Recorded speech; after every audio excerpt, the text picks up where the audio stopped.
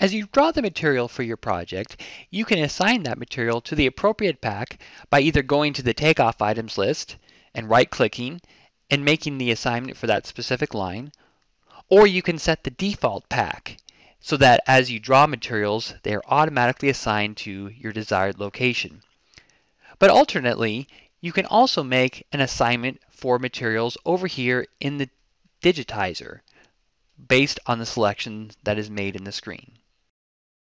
So let's say, for example, that we want to get the rest of these items that have been drawn, the floor decking, the floor joist, the beams, the rim, and get them into the upper floor pack. And so we can do that all in one setting instead of having to go to each of them individually. So first we'll click the top line and we'll use the shift and control keys so that we can click down here on rim and now everything is selected over here in the digitizer. With all that selected, we'll hold down the control key and right click in the digitizer window. One of the options there near the bottom you'll see is to move selection to pack. Currently it's set to not specified, meaning all of this material that's been selected is in the not specified pack.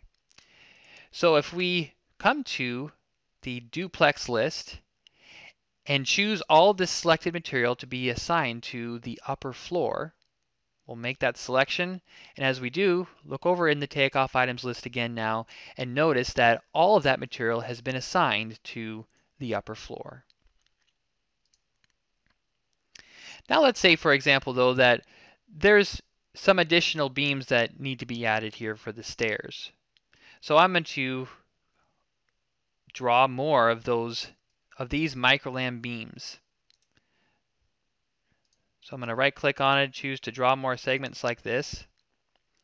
And as I draw, those beams get added into the material list. But as I finish that, I realize, well, here are these stair beams. And if I click on the microlam beams over here, you'll notice that they're selected with the rest of the beams. But I recall that I want to ship those stair beams with a different in a different pack. I want those to go with the main wall pack. Now if I was to come over here and right click on this item and change the pack setting here, it would affect all of the microlam beams that are in that line they would all get moved to the main wall, which isn't what I want. All I want is this beam here, I'm going to select it, and this beam here, those two, to be sent to the main wall pack. The material is right, the application is right, just the pack is wrong. So with those two selected, I'm going to right click, holding down the control key, and again choose Move Selection to Pack. In this case, Instead of choosing the upper floor, which is where it's currently assigned, I'm going to assign it to the main wall pack. Now watch as I do this that an additional line will be created over in the takeoff items list.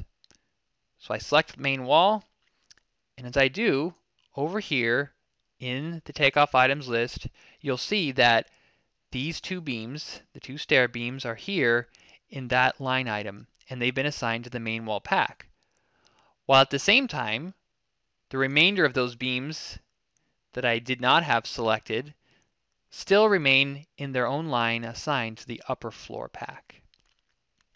So you can use the right click in the digitizer to split out materials that need to be moved to a different pack and separate them from other materials.